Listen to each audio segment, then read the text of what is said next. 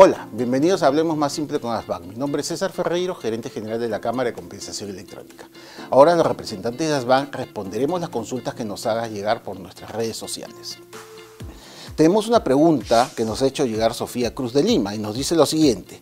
Todos los meses tendré que transferirle dinero a mi hermana que está estudiando en Chachapoyas, pero somos de diferentes bancos. ¿Cómo puedo hacerle llegar el dinero? Acompáñenme a responderle la duda a Sofía. Si tu hermana necesita el dinero pero no cuentan con la misma entidad financiera, puedes hacer uso de las transferencias interbancarias. Este servicio tiene un costo que varía de entidad financiera a entidad financiera. Lo bueno de este servicio es que te da la facilidad de poder transferir dinero a cualquier banco o entidad financiera a nivel nacional. Ya no necesitarás llevar el efectivo, vas a poder hacerlo directamente desde tu cuenta a cualquier cuenta en el país. ¿Cuáles son los beneficios? El primero y el más importante de todos, vas a eliminar el riesgo del cargo en efectivo y lo más importante es que no tienes que perder tiempo en hacer largas colas ni tampoco eh, moverte de un lugar a otro con el tráfico tan pesado que tenemos aquí en Lima. ¿Cuáles serían los pasos que debería hacer Sofía y cualquiera de nosotros para hacer una transferencia interbancaria? Primero, el primero y el más importante es que necesitas saber cuál es el CCI de destino. Si no lo tienes o no lo conoces, ingresa a www.transferenciasinterbancarias.pe y haz clic aquí.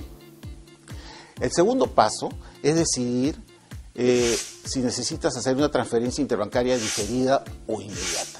La diferida te permite realizar o enviar dinero el mismo día, siempre y cuando lo envíes antes de las 2 de la tarde.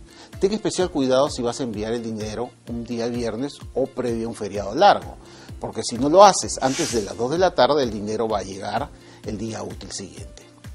La otra alternativa es enviar la transferencia inmediata. El tercer paso consiste en verificar con tu banco cuál es la tarifa que te cobrará por el servicio. Verifícala antes de enviar y luego haz clic y el dinero llegará a su destino. Recuerda, Sofía, los puntos que tenemos que tener en cuenta. Son tres. Uno, conocer el CCI de la cuenta de destino. Dos, decidir si vas a hacer una transferencia inmediata o diferida. Y la tercera es verificar con tu banco cuál es la tarifa del servicio. Si tienen alguna duda, búscanos en nuestras siguientes redes sociales como Asbank y envíanos tu consulta. Comparte este video con tus contactos y así todos estaremos informados. Gracias por seguirnos con otro video de Hablemos Más Simple con Asbank. Hasta pronto.